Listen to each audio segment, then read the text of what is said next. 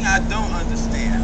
Uh, how in the world can the government legislate something that in some churches is known as the sacrament? If you go that route, then they can tax who can get baptized. If you go that route, they can tax or regulate who can have Holy Communion. You see what I'm saying? This don't make sense to me. I, it seems to me that this thing is over the line when it comes to church-state issues. Yeah. Yeah, I As hear far you. as I'm concerned, the state ought not be doing anything like that at all. It's either make it equal or don't do it at all. Nobody gets married from the state. Let it just be civil unions for everybody. Let those civil unions be exactly equal. Because you know what? I just don't understand how the government can be in church affairs and regulating who could have a sacrament.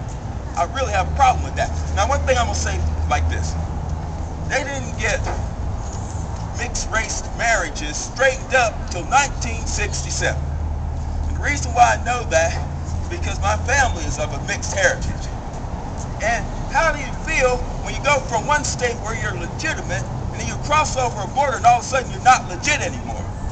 You go to one state and you're allowed to love show your love, and then you cross the border, you can't even sleep in the same hotel room. That's how it was back then. Now, do we want something like that to exist? No. I don't think so. I think this needs to go bye-bye. I think it needs to take the hype. It just ain't right, you know?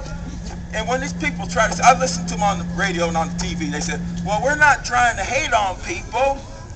Well, wait a minute. When you tell me that I'm not worthy, I'm not good enough, I can't have what you have because, well, the reasons they use are religious ones. I see a problem with that.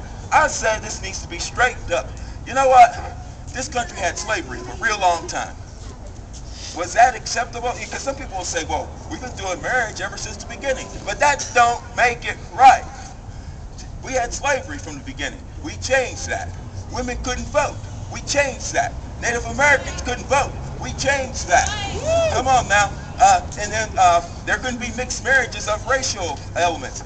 We changed that. Now it's time for another change. That which does not adapt goes extinct. Those people want to hold us back, we're going to see them in the, in the museum sometime next to the dinosaur bones. they don't know how to adapt.